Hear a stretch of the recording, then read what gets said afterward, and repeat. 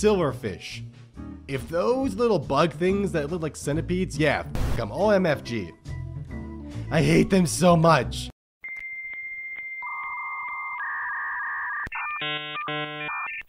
Oh, in Minecraft. I thought you meant the real ones. Hey, hey, what do you mean the real ones? Where do you think the name came from? I don't know, Tumblr user Plump9000. I sort of thought they weren't real, like Enderman or creepers.